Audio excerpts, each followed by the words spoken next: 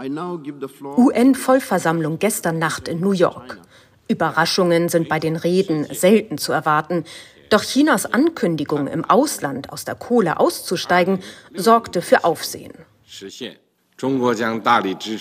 China wird andere Entwicklungsländer beim Ausbau grüner und kohlenstoffarmer Energien unterstützen und keine neuen Kohlekraftwerke im Ausland bauen. Chinas Anteil an der Auslandsfinanzierung von Kohlekraftwerken ist relevant. Weltweit kamen in den Jahren 2013 bis 2019 etwa 13 Prozent der Gelder dafür von China. Der angekündigte Rückzug könnte weitere Auswirkungen haben, meint Professor Nedupil Wang.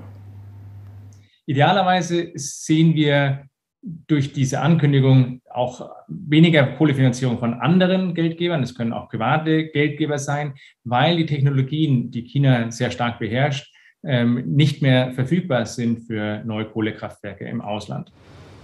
In China selbst bauen die Lokalregierungen allerdings weiterhin neue Kohlekraftwerke.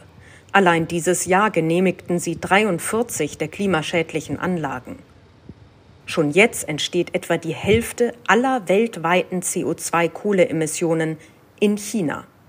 Erst nach 2030, so kündigte Staats- und Parteichef Xi Jinping an, werde China den Kohlendioxidausstoß im eigenen Land reduzieren.